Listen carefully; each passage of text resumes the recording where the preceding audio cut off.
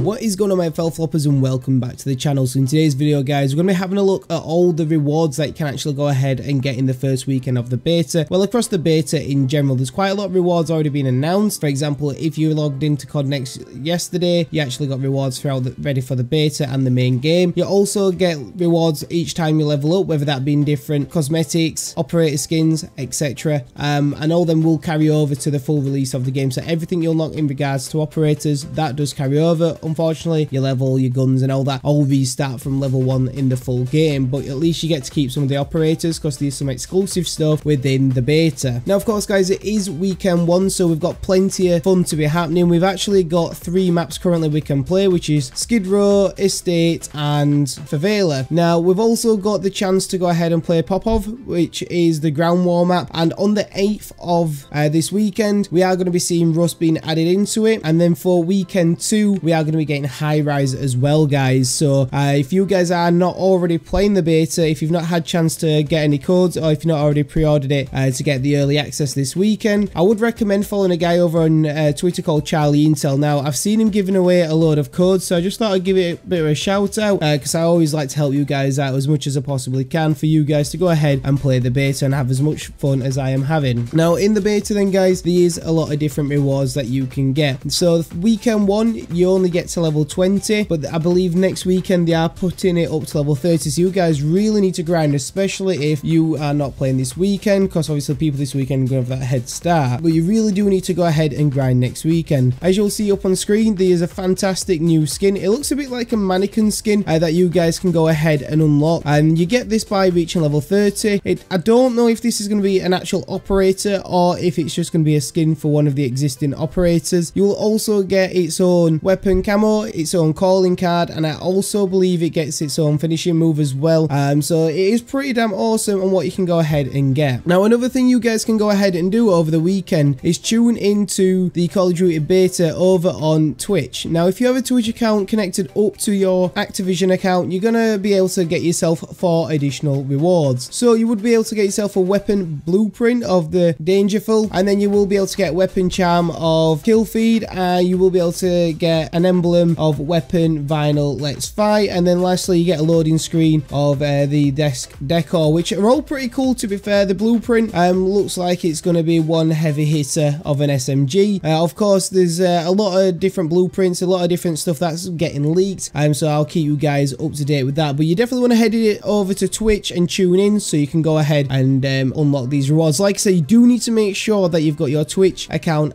activated with your activision account. So it needs to be all linked up for you guys to go ahead and get them rewards. Now, just to give you a bit of heads up on what to expect if you're not already playing this game and you've not seen it anywhere else, uh, there's quite a few weapons that you can go ahead and use um, right away. So in the assault rifles, you do get the SVA 545, you also get the MTZ 556 and the MCW, which is, oh, what a weapon that is. It's overpowered. Um, and then for the battle rifles, you get the MTZ 762 and the BAS-B, which the BAS-B is a very, very good assault rifle as well. So over on the SMGs, you get the Rival 9, the AMR 9 and the Striker which you're eligible to use. You can also use on the shotguns, the Riveter and the Lockwood 680. The Lockwood 680 is an absolute monster, especially when you're up close. It's definitely one shot kill. And um, so with the LMGs you do get to use the Holger 26 and the Pulemyot, if I said that right, 762. So the maximum rifles then we do get the MTZ Interceptor and the MCW 6.8. And then lastly our sniper rifles you get the longbow and the KV Inhibitor uh, which is pretty cool sniper rifles and the sniping is absolutely smooth as well as the movement in this game so it is absolutely fantastic and enjoyable. Um, with the secondaries then guys you do get um, for the handguns you get the WSP Stinger the Venetti which the Venetti you want to be rocking all the time three round burst pistol absolutely awesome and then you get the COR-45 and then with the launchers you literally just get a PILA. So anyway guys that is pretty much everything I wanted to discuss with yourselves uh, today. Like I said any more information that comes leaking out I will get a video up as soon as I